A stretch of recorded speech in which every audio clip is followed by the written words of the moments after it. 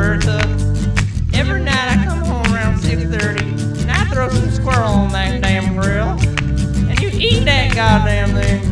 And I never get any. And I'm so sick and tired of shooting all the squirrels and never getting to eat none. I'm gonna just shoot you, Bertha. Right in the goddamn head. And then you're gonna be goddamn dead. And then I'm gonna get all the fed gonna eat all his birds.